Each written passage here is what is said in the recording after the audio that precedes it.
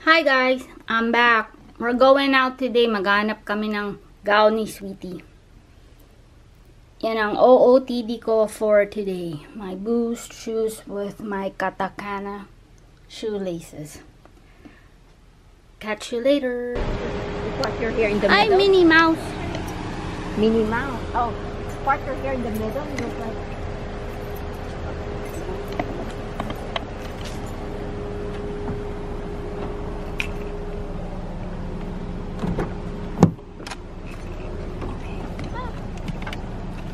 Guys, kakain na kami. Yan kay Sweetie. This is mine.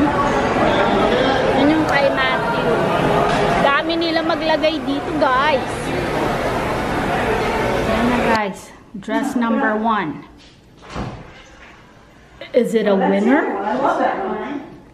Ikot ka. Likot. Beautiful. Okay, choice number one yan, guys.